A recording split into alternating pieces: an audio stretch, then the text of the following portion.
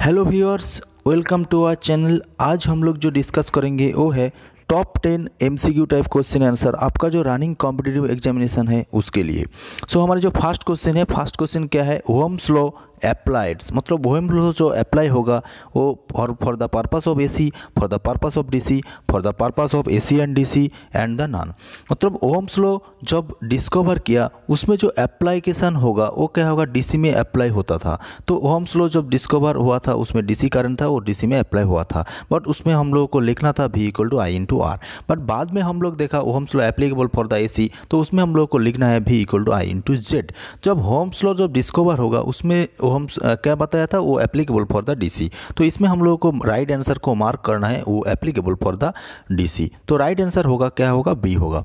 Next question क्या है? Next question लेके हम लोग को डिस्कस करना है heating element are made of मतलब जो हीटिंग एलिमेंट है, उसको मेड करने के लिए हम लोग को क्या चाहिए? तो ऑप्शन ए क्या है? नाइक्रोम ऑप्शन बी क्या है? Copper option C eureka option D nickel तो मतलब हीटिंग एलिमेंट सोच लीजिए आपके पास हीटर है हीटर के लिए जो हीटिंग एलिमेंट मतलब जो वायर चाहिए, वो वायर हम लोग को क्या लेना है। उसमें हम लोग को क्या लेना है? नाइक्रोम ऑयल लेना है। मतलब हीटिंग एलिमेंट के लिए हम लोग को नाइक्रोम ऑयल लेना है। यहाँ पे ऑप्शन जो बी है, वो क्या होगा? आपके लिए राइट आंसर होगा। तो नेक्स्ट क्वेश्चन क्या है? नेक्स्ट क्वेश्चन हम लोग को लिए इंपॉर्टेंट है। What is the called ability do do doing work मतलब आपका जो एबिलिटी है मतलब काम करने का जो एबिलिटी है, उसको हम लोग को क्या बोलना है? ऑप्शन ए क्या है? Power option B energy option C efficiency option D horsepower तो मतलब हम लोग को जो काम करने का जो एबिलिटी है उसको हम लोग को क्या बोलना है? यहाँ पे ऑप्शन क्या है? एनर्जी है। मतलब to ability to doing work को हम लोग को एनर्जी बोलना है। तो ऑप्शन बी जो है वो राइट आंसर होगा। तो अभी तक हम लोग को चैनल को जो सब्सक्राइब नहीं किया सब्सक्राइब कीजिए बेल आइकन कीजिए हमारा जो वीडियो को आपको फ्रेंड को भी शेयर कीजिए। सो so, उसको नेक्स्ट क्वेश्चन क्या है? Three register of five ohm are connected to one one five volt cell the value of the current in the circuit will be यहाँ पे हम लोग देखा जो जी रेजिस्टेंस क्या किया हम लोग सीरीज़ में कनेक्ट किया। तो इक्विवेलेंट रेजिस्टेंस का वैल्यू क्या होगा? Equivalent resistance R equivalent equal to five plus five plus five तो हम लोग को क्या मिलेगा? फिफ्टीन वो हम लोग को मिल गया। बट यहाँ पे हम लोग को जो वोल्टेज कनेक्ट किया मतलब जो वोल्ट का वैल्यू है V equal to one point five है तो आर का वैल्यू क्या है? फिफ्टीन है। तो accordings to Ohm's law V equal to I R तो इस, इससे हम लोग को क्या मिलेगा? इससे हम लोगों को जो वैल्यू मिलेगा आई का आई इक्वल टू क्या मिलेगा? Fifteen by one point five by fifteen तो मतलब पॉइंट वन एम्पियर हम लोग को मिल जाएगा। यहाँ पे ऑप्शन है, यहाँ पे सी सी का ऑप्शन है पॉइंट वन एम्पियर तो यहाँ पे राइट आंसर क्या होगा? पॉइंट वन एम्पियर होगा। तो नेक्स्ट क्वेश्चन क्या है? नेक्स्ट क्वेश्चन हम लोग को डिस्कस करना है। नेक्स्ट क्वेश्चन है what does thumb represent in right hand rule मतलब फ्लेमिंग का जो राइट हैंड रूल था और लेफ़्ट हैंड रूल था। यहाँ पे राइट हैंड जो रूल है, वो इंडिकेट क्या किया? वहाँ पे ऑप्शन है magnetic force option B north pole option C southern pole option D क्या है? आपका करंट डायरेक्शन तो फ्लेमिंग का जो राइट हैंड रूल है, वो क्या क्या इंडिकेट किया? वो करंट डायरेक्शन को इंडिकेट किया। तो यहाँ पे जो ऑप्शन डी है, और ऑप्शन डी करंट डायरेक्शन वो क्या होगा? आपके लिए राइट आंसर होगा। तो नेक्स्ट क्वेश्चन क्या है? नेक्स्ट क्वेश्चन के लेके हम लोग को डिस्कस करना है। नेक्स्ट क्वेश्चन क्या है? What is the value of the current in a short circuit आपका जब शॉर्ट सर्किट होगा तो शॉर्ट सर्किट में आपका करंट का वैल्यू क्या होगा? और वोल्टेज का वैल्यू क्या होगा? वी का वैल्यू क्या होगा? आई का वैल्यू क्या होगा? जब शॉर्ट सर्किट होगा तो आपका जो पोटेंशियल डिफरेंस का वैल्यू क्या रहेगा? ज़ीरो रहेगा।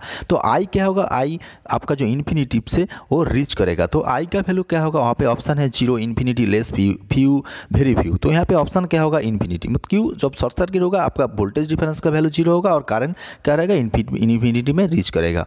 तो यहाँ पे ऑप्शन जो है बी और राइट आंसर होगा।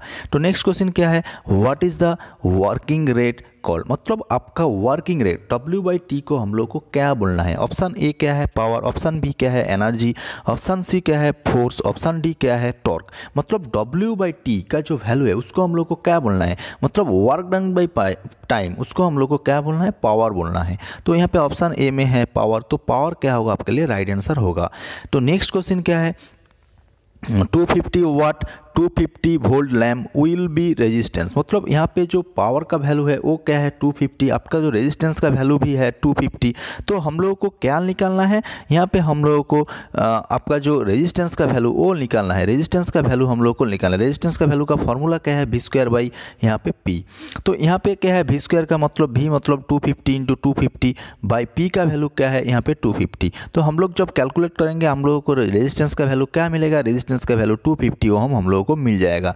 तो यहाँ पे राइट आंसर क्या है? Two fifty ohm option B जो है टू फिफ्टी ओम हम लोगों के लिए राइट आंसर होगा।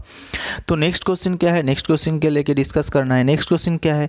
The resistance can be increase by reducing which of the following factor यहाँ पे जो जो फैक्टर है, उसमें जो जो फैक्टर को हम लोगों को रिड्यूस करना है, आपका रेजिस्टेंस को क्या होगा? इंक्रीज होगा। तो ऑप्शन ए क्या है? Length option B width option C cross section area option D क्या है? हीट तो यहाँ पे हम लोगों को पता है रेजिस्टेंस का जो फॉर्मूला है, वहाँ पे फॉर्मूला में पता है R equal to rho into L A तो मतलब आपका जब एरिया को हम लोग को जब डिक्रीज करना है, आपका जो रेजिस्टेंस का वैल्यू क्या होगा? इंक्रीज होगा।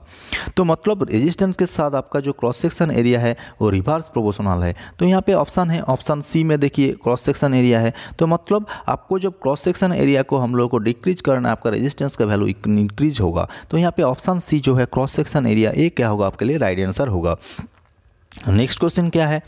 What is the supply frequency value of the India मतलब इंडिया का जो सप्लाई फ्रीक्वेंसी का वैल्यू है स्टैंडर्ड वैल्यू है वो क्या है? Option A fifty hertz option B forty five hertz option C fifty five hertz option D fifty one hertz तो हम लोग को पता है इंडिया का जो स्टैंडर्ड फ्रीक्वेंसी का वैल्यू है वो क्या है? फिफ्टी हर्ज है।